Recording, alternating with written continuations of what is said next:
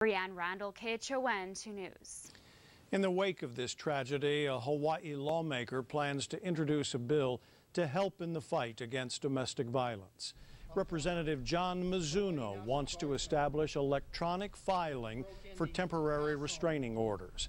The bill would expand requests for an issuance of TROs to nights and weekends.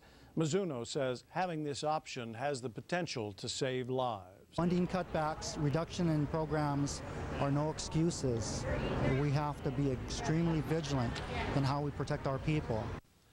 Friends say Christine Cass was considering filing a TRO against Claiborne Conley just hours before she was shot and killed.